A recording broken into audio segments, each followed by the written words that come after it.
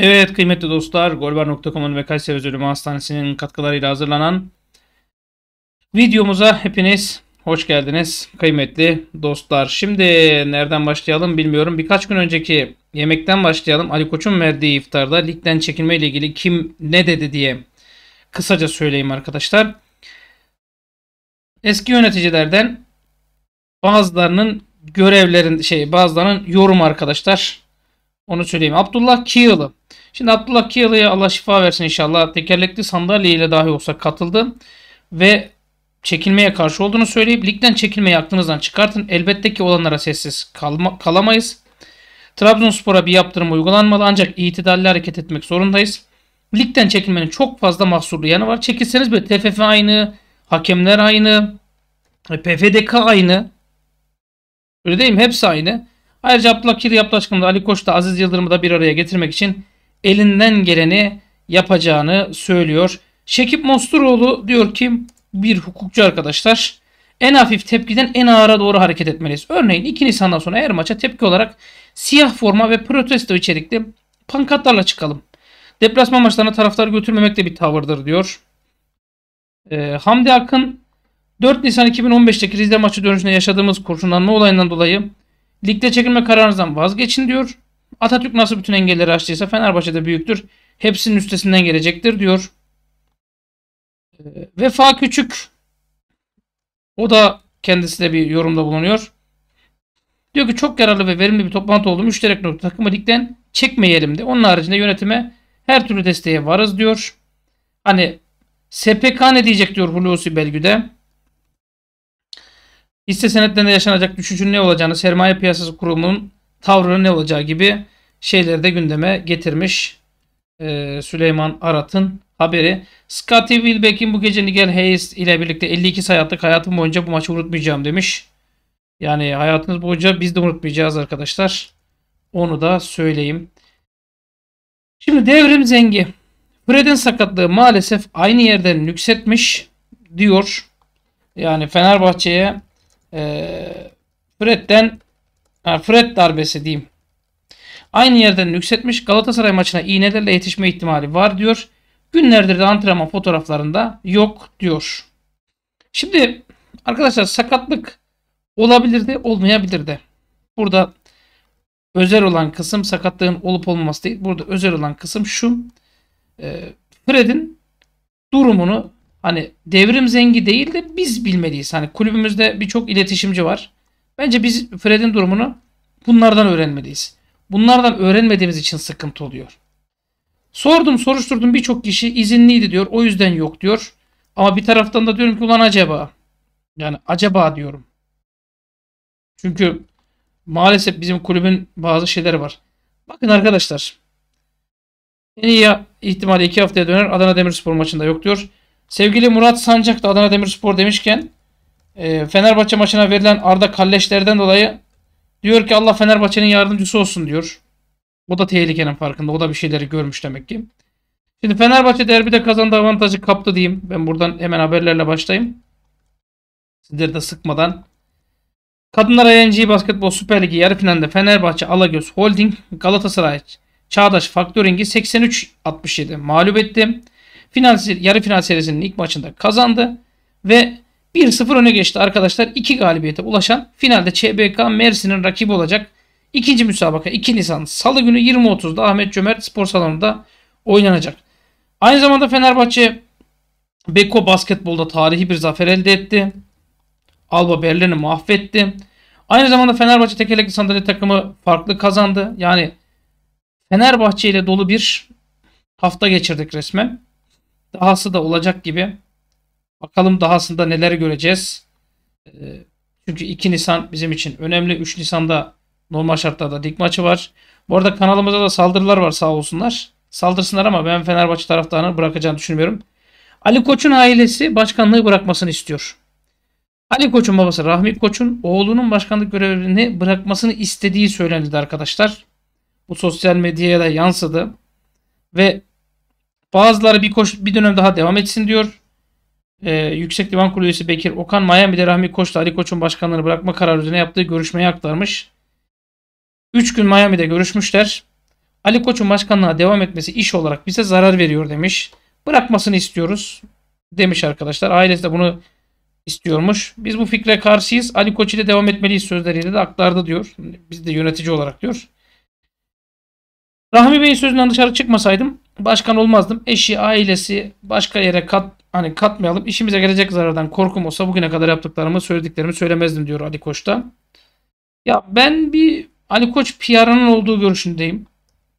Ama şöyle de bir gerçek var. Eğer Fenerbahçe çekilirse Ali Koç'la devam etmek şart olacak. Çekilmezse daha da enteresan bir hale bürünecek. Bu sefer de Ali Koç'un hani başkanlığa adayım demesi bile infiale sebep olacak. Şenes Erzik'ten Fenerbahçe sözleri çekilme yok. Türkiye Futbol Federasyonu Onursal Başkanı Şenes Erzik ligden çekilme ile ilgili Milliyet Gazetesi'ne Cemal Ersen'e görüşlerini bildirmiş ve açık ifadelerle konuşmuş arkadaşlar. Demiş ki kanaatim bu arada Fenerbahçe Başkanı Ali Koç'un önceki akşam verdiği iftar yemeğine de katıldı 2-3 gün önceki. Kanaatim 2 Nisan'daki olağanüstü genel kurula herkes gelecek. Gerekli çoğunluğu sağlanacak. Ligden çekilme diye bir şey yok. Orada konuşanların hepsi başkana destek verdi ama çekilme yönünde bir karar çıkmasını istemedi. Doğrusu da bu diyor. Arkadaşlar düşündüğünüz zaman birçok kişi kendince haklı. Şimdi futbolcuları satalım borcu ödeyelim diyenler de var. Mesela İsmail Yüksek. Eski hocası da İsmail Yüksek'le ilgili açıklamalarda bulunmuş. Gölcük Spor'da çalışan Ömer Faruk Uzuner.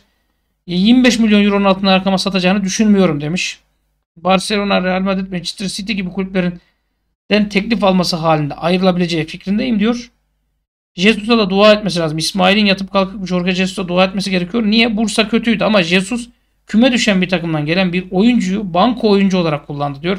Bu sezon 42 maç 1 gol 5 asist. Mesela İsmail Yüksek'i satalım diyor bir grup. Bir grup diyor ki e, Ferdi Kadıoğlu mesela. Ferdi Kadıoğlu'nu satalım.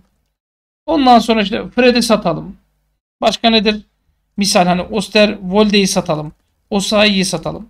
Elimize para geçsin. Küçülmeye gidelim diyor. Ve bunu yaparken de Türk futbolunun bir nevi marka değerinde düşürmüş olalım diyor. Bunu diyenler de var. Mesela Çağlar Söyüncü fedakarlığa hazır diye bir haber duydum arkadaşlar. Sportif direktör Mario Branco Çağlar Söyüncü'nün kariyerine Fenerbahçe'de devam etmesi için kolları sıvadı. 2,5 milyonu hani maaş 1 milyon imza parası olmak üzere senede 3,5 milyon euro kazanıyormuş milli stoper. Fenerbahçe'ye katmak için elinden geleni yapıyor. O da fedakarlığa hazır diyor. Atletico e, maaş sıkıntısı İspanyol'daki bile yakında ilk görüşmesi yapması bekleniliyor. Şimdi İspanyol devre 5 yıllık sözleşmesi var. Fenerbahçe'nin de hani hali hazırda konuşulan bu rakamlara çıkması imkansız gibi bir durum. O yüzden de Çağlar'ın da fedakarlık yapması lazım. İlk hedef yine kiralık diyor. Yine bir sezonla kiralamak diyor. Yani 7 maçta oynadı. Bir asist yaptı diyor. Bir taraftan da yönetimimiz bunu yapalım diyor. Arkadaşlar bazı sıkıntılar ortaya çıktı. Bazı rezillikler ortaya çıktı. Yani Galatasaray'ın e, rezilliği ortaya çıktı. İddialara göre Ayhan Akman Kasımpaşa Galatasaray maçında Serkan Reçber'e hepiniz Fenerbahçe için oynuyorsunuz. Hepiniz P nokta noktasınız demiş. İddiaya göre diyorum diyor e, PFDK'dan ceza bile aldı Ayhan Akman. Rakip takım mensuplarına yönelik hareketi gerekçesiyle. Ama ben yine de iddia diyeyim diyor.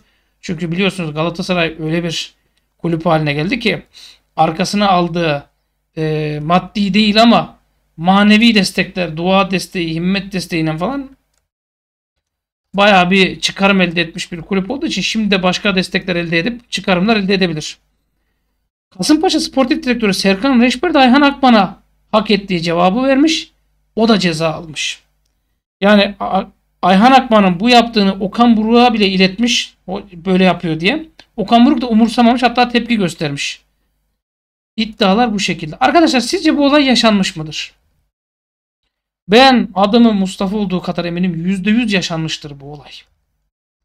Şimdi Fenerbahçe'nin tepkisi buraya. Ancak öte tarafta bazı kongre üyelerimiz ve ben şahsi kanaatimle şunu söylüyorum. Arkadaş Trabzonsporlarda bir özgüven var. Yakarız, yıkarız, mahvederiz. Hadi sıkıyorsa bize bir şey söyleyin diye. Ali Koç'un konuşmasında şöyle sihirli bir cümle vardı. Neydi o sihirli cümle? Diyor ki tarihimizin en iyi sezonunda lige devam edelim mi etmeyelim mi bunu konuşuyoruz. Bunu konuşmak bile işin vehameti diyor. Yani Fenerbahçe olarak cidden arkadaşlar haksız mı ya? ya tarihimizin en iyi sezonu. İstatistiklerden şöyleyiz böyleyiz. Ee, mahvetmişiz. Ama gel gör ki neyi konuşuyoruz? Ligden çekilelim çekilmeyelim. Sizce de bir enteresanlık yok mu? Ha rakibin her şeyi mübah görüyor. Şampiyonluk için her şeyi mübah. Herkesten destek alınabilir. Herkese ağız yüze eğilebilir. Herkesten muhabbet edilebilir. E sen, sen Fenerbahçe'sin. Sen yiyemezsin. Sen en ufak bir şey yapsan ayvayı yedin. Valla ortada böyle bir durum var. Şimdi hal böyleyken ligden çekiliyor derken Ali Koç başkanlığı bırakırsa kimse şok olmasın. Fred darbesi malum. Ha sakat değil izinli diyen kaynaklarım da var. Hangisi doğru onu da hep birlikte göreceğiz. E Galatasaray'ın bir rezilliği daha ortaya çıktı. Bunlar bizim bildiklerimiz. Bir de bilmediklerimiz var. Vallahi size kısa güzel bir video bırakıyorum arkadaşlar. Hepinizden de yorum istiyorum. Lütfen yorumlayın arkadaşlar. Hani çekilme kararına dair sizin fikriniz nedir? Mesela benim bir önerim var. Süper Kupa finaline çıkarım. Galatasaray maçına. Eğer mesela bir futbolcum bile hani seçimden sonra sevk edilecek diyor. Bir futbolcum bile sevk edilirse U19'da çıkalım. Ciddi söylüyorum bak burada kötü niyetli söylemiyorum. Burada Fenerbahçe menfaatleri gereği söylüyorum. Seni şampiyon yapmayacaklarına inanırsın bu sayede. Dersin ki ulan ben de kendi şansımı kendim üreteceğim. Futbolcuların gider Galatasaray'ın en önemli futbolcularına tekme tokat hani sakatlayıcı şekilde dalar. Yani bir öneri benimki sadece olsun olmasın diye demiyorum. Hocam sen kendine yakıştıran bu mu şöyle böyle senin için her şeyi mi bak. Rakibim için her şeyi mi basa. Benim için de yapabildiğim şeyler mi bak. Yani herhangi bir şey yok arkadaşlar. Kırmızıyı yiyecek. Kırmızı kart yiyecek. Ceza alacak. Ligde de ceza alacak. Yani ama Süper Lig'de belki 10 hafta boyunca belki 5 hafta boyunca belki 5 hafta boyunca belki 10 hafta boyunca e, Galatasaray bu isimlerden yararlanamayacak. Fenerbahçe Süper Kupayı kaybedecek ama bence şampiyonluğu kazanacak. Madem rakibin şampiyonluk yolunda her şeyimi bahtır diyor. Yanağını okşatıyor, başka bir şeyler yaptırıyor, onu yapıyor, bunu yapıyor. Kasımpaşa'ya kadar küfürler, hakaretler ediyor. O zaman sana göre de her şey mübah olsun. Yani mübah derken adalet çerçevesinde mübah olsun. Sen de git işini bu şekilde hallet. Valla ben benim önerim de bu şekilde. Bilmiyorum siz ne dersiniz ama hakkımızda hayırlısı olsun. Ali Koç başkanlığı bırakır mı? Bence Ali Koç başkanlığı bırakmayla ilgili söylediği cümlenin pişmanlığını yaşıyor. Ben buradan nasıl geri adım atarım diyor. Kongre üyeleri de sağ olsun onlar da destek veriyor.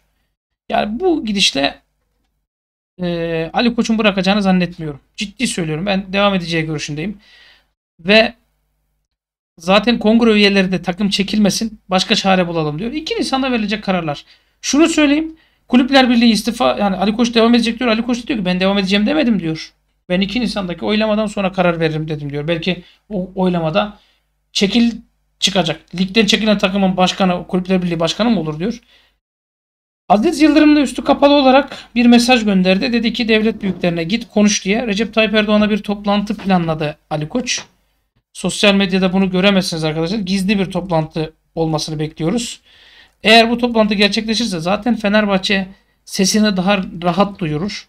O oradaki toplantı ve oradaki görüşmeden sonra Ali Koç Mehmet Büyükekşi'yi belki direkt olarak hedefe alır. Der ki arkadaş bunlar bir sirk kurmuşlar.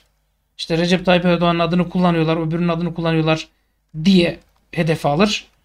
Onu da bilemem ama bu, bu görüşme gerçekleşecek. Bundan eminim. Fakat gizli kapaklı, hani gizli kapaklı demeyeyim. Kimsenin haberi olmayacak bu görüşmeden. En azından Ali Koç derdini anlatacak. 2 Nisan'dan önce derdini anlatacak. Bize bunu yaşatıyorlar. Bilginiz olsun diyecek. Hakkımızda hayırlısı olsun. Arkadaşlar destek bekliyorum. Bakın dünden beri kanalda bir tuhaflık var. Rica ediyorum lütfen kanala abone olalım. Video izleyelim. Mümkünse kısa kısa oynatma listesini açalım. Bak eminim bugün 67 bini geçeceğiz. Siz bu videoyu izlerken bile geçeceğimize inanıyorum. Bakalım. Görüşmek üzere.